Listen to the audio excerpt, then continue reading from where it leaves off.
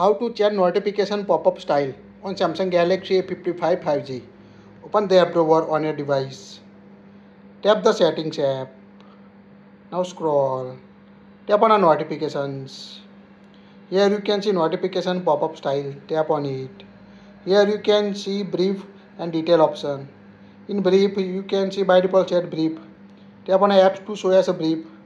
Here you can toggle on or toggle off the option. You want to show notification as a brief like this at the status bar on your device. You can see edge lighting style also here.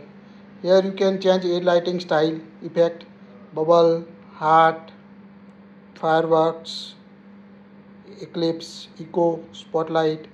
Also choose color, tap on a color and select the option. Here you can see how it looks. Also customize color. Tap on advanced. Here you can set transparency or duration. Now go back. Also check color by keyword. Now tap on a details option. If you want to set a details notification you can see all notification pop-up will appear on the status bar on your device. So it's quite easy to set a notification pop-up style as a brief or a detail you want to set on a Samsung Galaxy A55 that's it. If you like it share it